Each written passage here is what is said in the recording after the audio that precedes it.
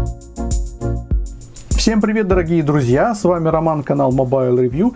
Я делюсь опытом эксплуатации от Pixel 6. Это не обзор, не обзор, не надо мне писать в комментариях, какой плохой обзор. Пишите, какой плохой опыт эксплуатации. Pixel 6 от компании Google, разработчика операционной системы Android. В общем-то, чистая система, необычный дизайн, крутейшая камера, непонятное время работы, огромный, тяжелый и вообще Э, такой очень странноватистый гаджет. Э, мне его занесли из Geek, самый дружелюбный магазин техники. Не реклама, просто чувакам респект, то, что вот в такое сложное время они предоставляют какие-либо гаджеты для обзоров, потому что больше нигде особо найти и так и невозможно. Э, у меня вот он в розовом цвете, да, Google Pixel 6, 5G, 128 гигабайт, цвет это коралловый цвет. Вот показываю, как он вот здесь вот лежит э, спинкой Кверху есть вот такая вот штука, по-моему, на айфонах последнего поколения точно так же сделано. Вот отклеиваете, приятно все. А внутри переходник э, Type-C USB, кабель, ну там, там скрепка и какие-то информационные всякие вещи. Блока питания, насколько я понимаю, в этом устройстве нет, ну и тоненькая коробка, понятно.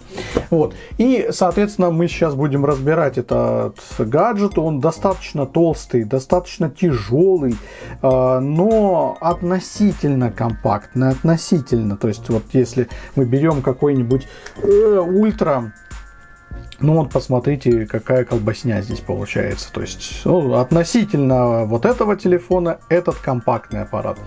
Вот, поэтому судите сами. Значит, едем. Э, металлическое основание, стекло со всех сторон, ну и фишечка это, конечно же, обратная сторона. Вот здесь вот оформлен модуль таким вот образом, то есть это вытянутая часть, немножечко над корпусом она надвигается. Здесь у нас какой-то розовый цвет, здесь коралловый и вообще цветов э, несколько и все они вот так вот в сочетании делаются, то есть один здесь цвет, другой здесь. Очень приятное соотношение э, по цветам, приятно приятные такие пастельные цвета, не яркие, не вычурные. У старшей модели чуть-чуть более спокойные цвета, но они какие-то скучноватые. Здесь все-таки поинтереснее, на мой взгляд. Вот. Модуль, казалось бы, большой, но с другой стороны он удобен именно в такой форме, потому что вы вот так вот держите телефон и упираетесь пальцем вот в эту часть. И, соответственно, поддерживаете вот таким вот макаром телефончик, чтобы он у вас не упал. Поэтому, в принципе, модуль удобен, собственно, как и э, вот на этом устройстве Mi 11 Ultra тоже вот так пальцем поддерживаете, и телефон никуда у вас не срывается. Э, что тут интересного? Динамики стерео. Вот здесь играет тише, снизу чуть-чуть громче. Перенесение качельки громкости на нижнюю часть не очень удобно, потому что кнопка питания сверху. Э, у большинства телефонов кнопка снизу, внизу и как бы вот дотягиваться удобнее, то есть вы вот нажимаете здесь ее, а приходится выше. Но, скажу так, это дело, наверное, привычки. Я вот привык за несколько недель, что на сверху, потом берешь другой аппарат и клацаешь снизу. Что еще из нюансов? Ну, он достаточно тяжелый, да, это немножечко напрягало, э, он увесистый, он достаточно широкий, ну, вот какая-то такая история. Но, с другой стороны, материалы классные, отпечатки пальцев почти незаметные, дизайн хороший, красивый, он ровно лежит на столе, вот не шатается. Из явных для меня минусов это отсутствие распознавание лица, потому что вы вот так раз, э, и он активируется, а дальше нужно только отпечатком его э, будить. И ну, мне это неудобно. У меня все телефоны на Э, распознавание лица, это его просто берешь в руки, и он уже сразу автоматически разблокировку делает. Э, мне удобно тем, что иногда руки бывают там влажные, помыл руки, вот касаешься, он не срабатывает. Э, иногда просто, ну вот банально неудобно касаться этого сканера, вот, и, или он не срабатывает, у вас вот эта вот штука, давай код набирать там какой-то, вот, тоже неудобно бывает. Поэтому, почему не сделали, я не очень понимаю, наверное, какая-то некая секьюрность, да, отпечаток работает, и вот, пожалуйста. Кнопочки приятные, удобные, ну, здесь все как бы сказал. Дальше едем. Динамик громкий, чистый, хорошо звучит, никаких проблем здесь нету. Датчик освещения, приближения работает тоже нормально. Но яркость, э, к сожалению, устройство занижает. Постоянно занижает, все время хочется сделать поярче. Процентов, ну, наверное, на 30 хочется сделать поярче, а он все время в каком-то таком полумраке показывает. Особенно если вы освещение вот, внешнее выключили, то совсем темно становится. Неудобно. Вот даже сейчас я сделал себе на максимум, ну потому что мне некомфортно. В автояркости он выкручивает примерно вот так, и ты сидишь и э, как бы мучаешь свои глаза. Ну вот мы медленно подходим к дисплею. Дисплей здесь классический, нет никаких особенных таких выпендрежей, типа сверхвысокое разрешение, сверхвысокая частота. А, здесь 90 Гц, и, соответственно, матрица, она неплохая, но под углами Многие говорят, что этого не заметили, но тем не менее под углами, вот если наклонять, у меня камера просто стоит вот с той стороны, неудобная, поэтому заглядываю в экранчик, чтобы вам видно было. Вот. И при наклоне, вот если яркость чуть-чуть убавить, ну, я думаю, что это не будет заметно, конечно же. При наклоне играет радугой дисплей, так вот наклоняете и какие-то переливы на нем происходит. Ну и плюс он немножечко, немножечко уходит в синеватый оттенок. Может быть, а, это еще и связано с самой матрицей, может быть вот такая матрица конкретно в моем устройстве, но тем не менее. Значит, если мы заходим в экран, 70% э, сейчас стоит, адаптивная яркость, э, есть Always On Display режим, он мне нравится, потому что картинка большущая, она достаточно яркая, все уведомления есть, и как бы в этом плюс. Потому что иногда уведомлений некоторых не бывает на каких-то аппаратах или там плохо видно. Здесь все очень четко и хорошо. Есть темная тема для тех, кто любит это все дело. Есть выбор цветов, натуральный, яркий, адаптивный там и так далее есть повышенная чувствительность. Ну, то есть, в целом меня экран не впечатлил, но, вы знаете, я не могу сказать, что это что-то такое неинтересное, скучное. Мне достаточно, скажем так. О, это и есть подтверждение моим словам. А, что касается времени работы, и вот тут получается абсолютная чехарда по времени работы, не знаю, с чем это связано. А, например, WhatsApp звонки, они, причем аудиозвонки, они могут сжирать батарейку а, за 2,5 часа. Это вообще очень странно. Если мы говорим про видео, может 18 часов проигрываться, но одновременно с этим, если вы используете э, сотовую связь, ну, там LTE, LTE, там 3G и так далее, не по Wi-Fi, то время свечения экрана может быть там 3,5-4 часа всего лишь, да. А если вы по Wi-Fi сидите дома, там, на, в офисе, на работе, то может быть до 5 часов. И игрушки там 6 часов примерно сжирают батарейку. То есть нельзя его назвать таким вот, вот стабильным устройством, где вы четко можете сказать, да-да-да, вот, вот у меня он проработал вот так-то и так и будет. Нет, во всех режимах абсолютно по-разному. Сейчас вы по Wi-Fi получаете там, не знаю, 6-5 э, часов, а потом бабах, выходите на улицу, и у вас все село за несколько минут. Ну, вот примерно такая история. Возможно, опять же, виноват сэмпл. Но у меня все последнее ПО от Google и тому подобное. Вот такая история. Значит, здесь есть беспроводная зарядка, но для того, чтобы быстро заряжать, э, нужна фирменная зарядка от Google. А так будет все очень-очень медленно. Ну, примерно где-то 10 ватт. А, есть быстрая зарядка зарядка, но она тоже такая условно быстрая. Вот всеми э, адаптерами у меня получается заряжать, ну, в лучшем случае, где-то часа за полтора. В то же самое время у меня вот многие гаджеты, в том числе и вот это вот ультра огромная и там, я не знаю, Asus Zenfone 8, они заряжаются минут за 40. Вот как-то так. То есть очень-очень быстро. Едем дальше. Что тут еще интересного есть? Коммуникационные возможности, они типичные по качеству связи. Нареканий у меня нету, все проверял, плюс-минус так же, как на других устройствах. Все работает быстро связь, все, ну, в общем, все хорошо. Проблем никаких не обнаружил ни с Bluetooth, ни с Wi-Fi. Э, дальше мы, наверное, подходим к производительности. И здесь стоит э, фирменный процессор, который вроде как основан на Exynos или Exynos, кто как любит называть. Э, и мне процессор не понравился. Да, он в принципе шустрый, да, в принципе все работает как бы нормально, глюков, тормозов нету, но чувствуется, что вот чутка не хватает в целом производительности. Что-то как-то вот не то. А не то здесь, вероятно, еще из-за того, что память э, оперативная, она медленная для такого устройства.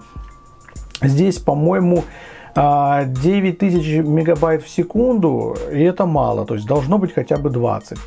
Вот. Встроенная память шустрая, да, вот прям там тащит по полной программе. Процессор достаточно сильно тротлит. Сейчас я вам покажу. Вот здесь вот у меня скриншоты. Скриншоты, скриншоты. Ну вот про Антуту, да, 625 тысяч баллов в Антуту выбивает, это хорошо. Дальше где тут у меня еще есть интересные скриншотики. Ну, тут в основном такое все скучное, да, я понаделал их. Это вот теоретическое время работы, да, 12 часов э, в приложении PCMark. Но такого времени он никогда не показывает. Это скорее, знаете, в видеорежиме такое может быть. Так, и где-то у меня были по памяти, по памяти, вот э, такой вот тротлинг у него, ну, то есть, знаете, неприятный тротлинг. И еще по памяти, вот, значит, соответственно, скорости 9, здесь получается 1000 мегабайт в секунду, здесь почти 1 гигабайт в секунду на Э, на 300 мегабайт в секунду. Ну, так ничего. Хотелось бы запись побыстрее, но в целом нормуль. Поддерживается 5G, ну, поскольку я на даче, тут какой 5G, в лучшем случае 4G, но в принципе вот как бы есть такая история. В целом нормальный аппарат, ну вот чутка хотелось бы быстрее, вот что-то вот, что-то чуть-чуть вот такое вот все. Знаете, просто есть сравнение, да, когда у тебя два устройства, ты можешь понять, вот, например, на э, Mi 11 Ultra все полностью летает, а здесь как-то оно, ну не так оно работает.